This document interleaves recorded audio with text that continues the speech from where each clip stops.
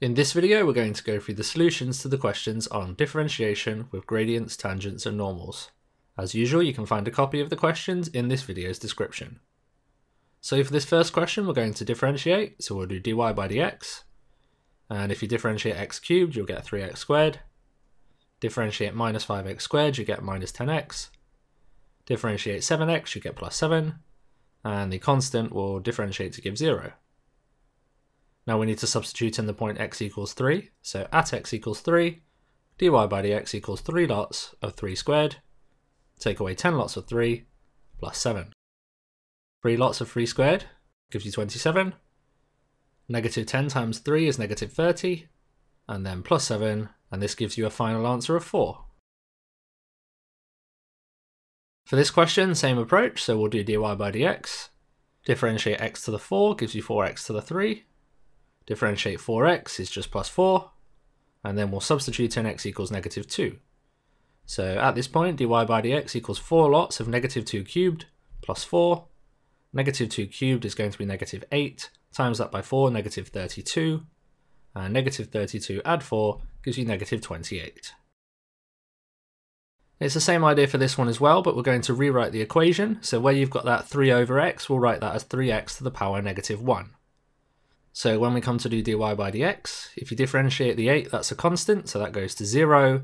And then we do negative 1 times negative 3, which is actually a positive 3. And then x to the minus 2, which we could rewrite as 3 over x squared. Now we substitute in the point x equals 2. So at this point, dy by dx equals 3 over 2 squared. And of course, 2 squared is just 4, so it's 3 over 4. For this question, the equation of the curve is in the form a bracket squared. Remember when you have a bracket squared, that's just the bracket times by itself. We could expand this, so x squared times x squared is x to the power 4. x squared times plus 1 is plus x squared. Plus 1 times x squared is plus x squared, and 1 times 1 is just plus 1. We can simplify the x squared terms here, and we'd end up with y equals x to the 4 plus 2x squared plus 1. Now that we have the equation of the curve in this form, it becomes easier for us to differentiate. So dy by dx equals x to the power 4 will differentiate to give 4x cubed, the plus 2x squared will differentiate to give plus 4x, and the plus 1 will differentiate to give 0. Now we need to find the gradient when x equals 1, so at x equals 1, dy by dx equals 4 lots of 1 cubed plus 4 lots of 1. Now 4 lots of 1 cubed is 4, and 4 lots of 1 is also 4, so 4 add 4 gives you 8. For this question, we need to work out the x value when the rate of change of y with respect to x is equal to negative 2. Remember, the rate of change of y with respect to x is just another way of saying the gradient function dy by dx. So if we work out dy by dx, 3x squared will differentiate to give 6x, minus 5x will differentiate to give minus 5, and the plus 1 constant term gives you 0. Now we want this to equal negative 2. So we write a new line, 6x minus 5 equals negative 2. To solve this, you just add 5 to both sides, so 6x equals 3, and then divide both sides by 6, then x would equal 1 half. So the answer to the question is 1 half. For this question, we need to do the same approach. We're going to rewrite the equation so that the fraction's not there, so we'll rewrite that last part as negative 4 x to the power negative 2. When you differentiate 3x, you get 3. And then we'll do negative 2 times negative 4 to get a positive 8 and reduce the power of x down from negative 2 to negative 3. And then rewrite this back in its fraction form, 8 over 3 cubed. Now we want this to be equal to 2. So we have 3 plus 8 over x cubed equals 2. To solve this, I would times both sides by x cubed. On the left hand side, we'll get 3x cubed when we times 8 over x cubed by x cubed, the x cubes cancel and we've just got 8. And then on the right hand side, 2 times x cubed is 2x cubed. If you now take away 2x cubed from both sides, on the left you'll just have x cubed plus 8, and on the right you'll have 0. Now subtract 8 from both sides, on the left you'll have x cubed, on the right you'll have negative 8, and then just cube root both sides, which will give you x equals negative 2. So the solution for this one is negative 2. For this question, same approach, so we'll do dy by dx. 2x cubed will differentiate to give you 6x squared. Negative 3x squared will differentiate to give you negative 6x, and negative 12x differentiates to give negative 12. And again, we want this to be equal to 24, so we'll write 6x squared minus 6x minus 12 equals 24. If you subtract 24 from both sides, you'll get 6x squared minus 6x minus 36, and on the right hand side equals 0. Now we can divide both sides of this equation by 6, since I notice there's a common factor of 6 for all terms on the left hand side. If you divide the left hand side by 6, you get x squared minus x minus 6, and on the right hand side 0 divided by 6 is still 0.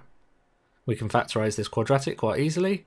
It would be x take 3 and x plus 2 equals 0, which gives us two solutions this time. So the first bracket gives us the solution x equals 3, and the second bracket gives us x equals negative 2.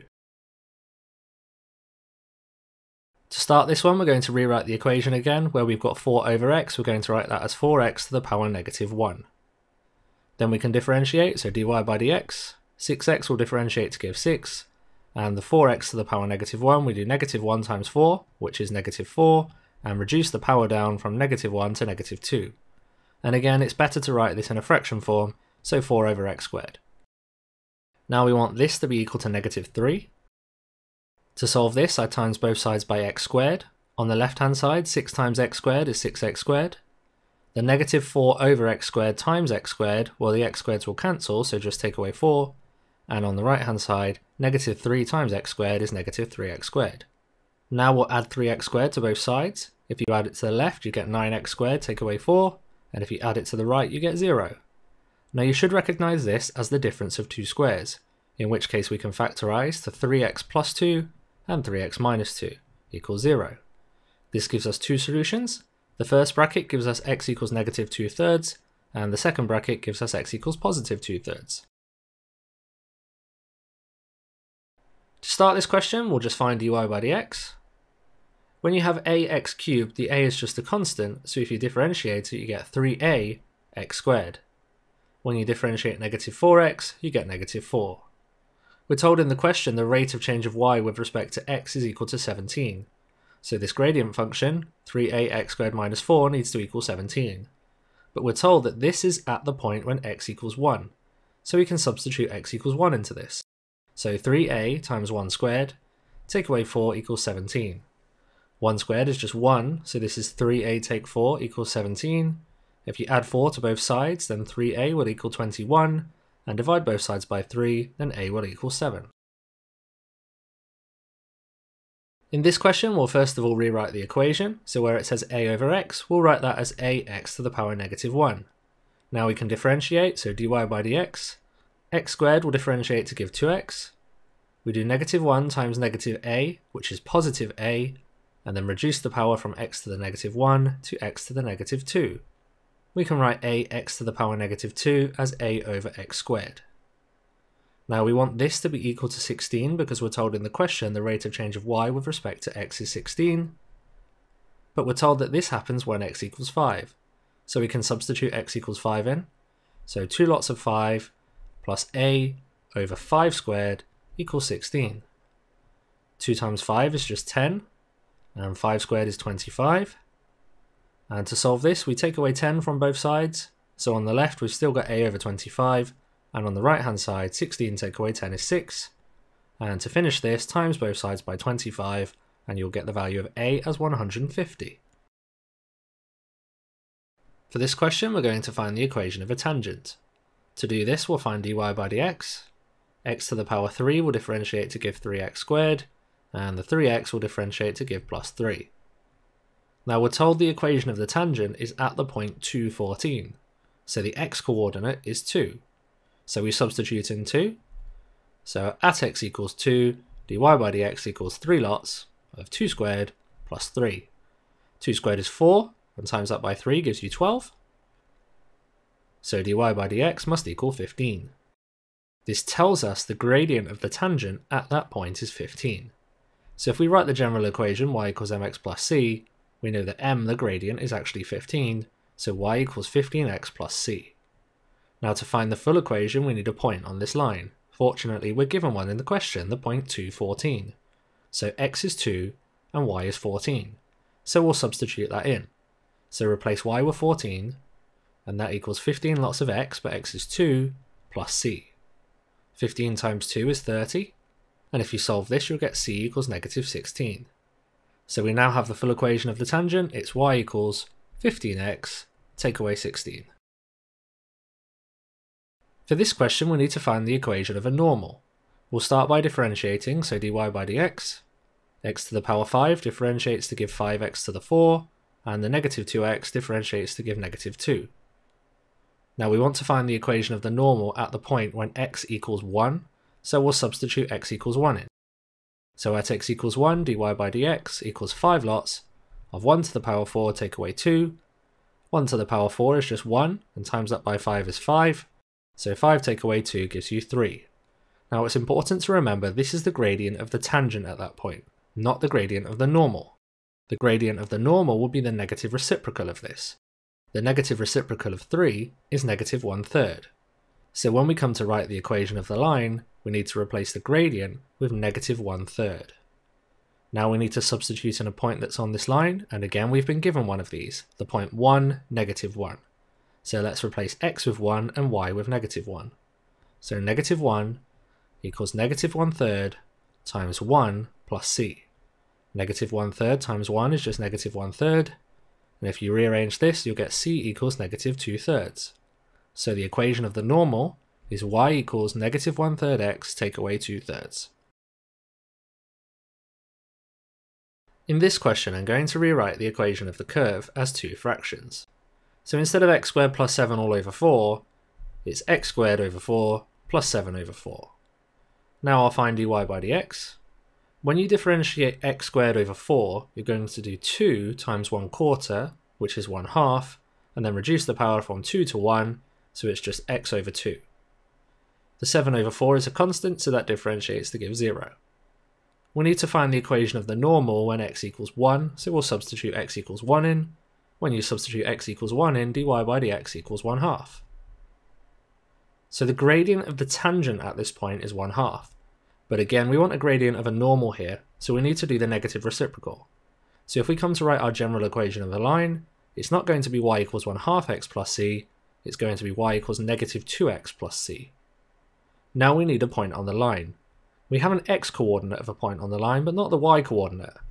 So we'll substitute our x coordinate, which is x equals 1, back into the original equation of the graph, y equals x squared plus 7 over 4. So when x equals 1, y would equal 1 squared plus 7 over 4. 1 squared is just 1, and 1 plus 7 is 8, so we have y equals 8 over 4, which just gives you 2. So the coordinate that's on the line is x is 1 and y is 2, so it's 1, 2. Now we can substitute these points back into our equation of the line to find out the value of c. So x is 1 and y is 2. So we'd have 2 equals negative 2 times 1 plus c. Negative 2 times 1 is just negative 2. So we've got 2 equals negative 2 plus c, which gives you a c value of 4. So the full equation of the normal is y equals negative 2x plus 4. For part B of this question, we're going to need the answer from part A, so the equation of the normal was y equals negative 2x plus 4. We need to find when this normal intersects the curve that has equation y equals x squared plus 7 over 4.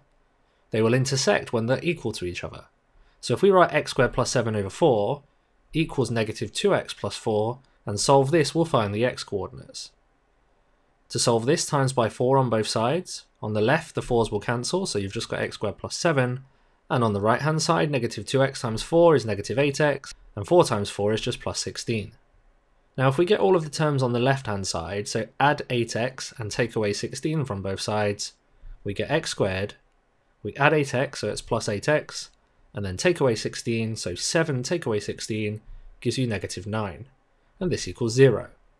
We can factorise this, it's a quadratic, it's x plus 9, x take away 1 equals 0, so this gives us two solutions, x equals negative 9 and x equals positive 1.